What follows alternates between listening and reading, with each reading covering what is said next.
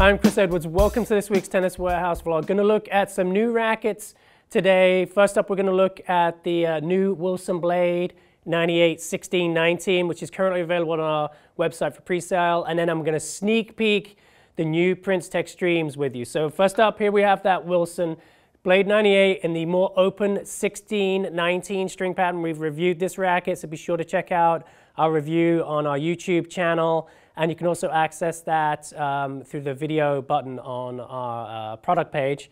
So this one has that more open string pattern. We also reviewed the 1820, so you can compare the two. We've got some new play testers on this review too, so be sure to check them out. They hit a great ball out there, and both of them really like this update to the blade. Features parallel drilling. It's going to liven up the racket, just open up the sweet spot, give a more uniform response throughout the string bed. Um, and with that more open pattern, you're going to get better access to pace and just a livelier feel in general from this racket. Um, and then also, uh, you know, you, it's a nice, light, fast feeling racket, but it's also got plenty of control from its uh, beam design. And so it's a good option for the aggressive player really looking to attack the ball with a lot of racket head speed, but they still want the control and feel of a player's type racket. So good option right there from uh, Wilson and the Blade 98 16 by 19 string pattern.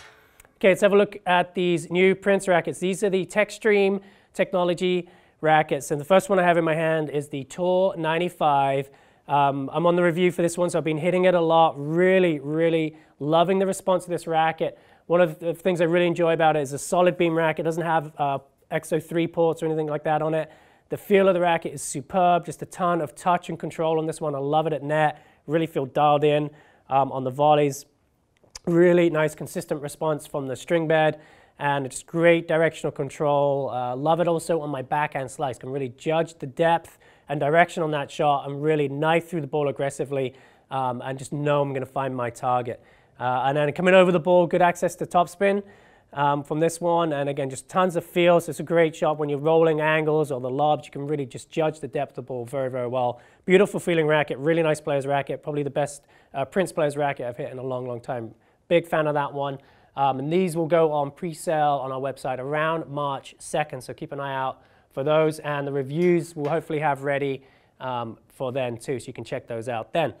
Next up, we have the Tour 100T. I was also on the review for this one too, so I've been hitting this one a lot. And this is a uh, more powerful racket, lighter weight, going to just offer you uh, much easier access to pace and depth off of a more compact swing. Thought it was a really good fit for my game. I play sort of like the 4-5 level.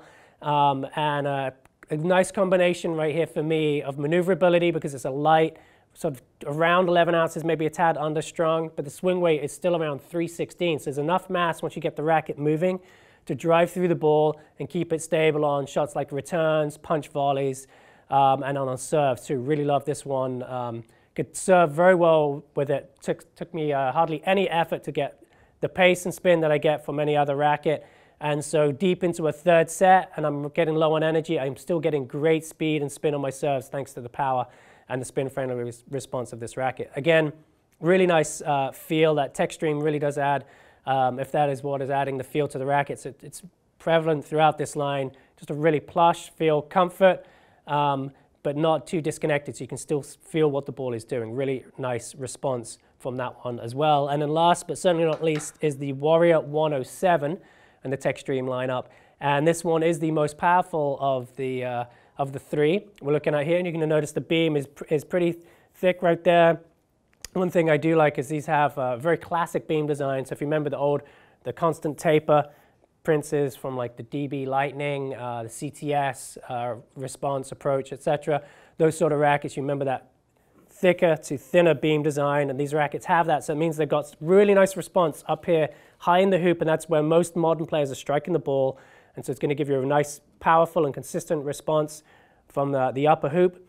Again, great access to spin from this one. If you're a fan of a, more of an oversized head size, and a light and maneuverable racket. The, uh, for instance, the head radical oversize isn't around anymore. Um, this one fills that gap. It's got a really nice, consistent response to it for the player who likes to take an aggressive swing. But it's got enough pop to help you get the ball away from your opponent with some pace. Um, and then uh, good directional control too. Nice open string pattern, works well with a poly. If you're a more advanced level player and you're looking to up the control of the racket, throw a multi in here and it's a super comfortable racket with nice power to help you get the ball away. Um, and that's all I got for this week. Thank you so much for watching.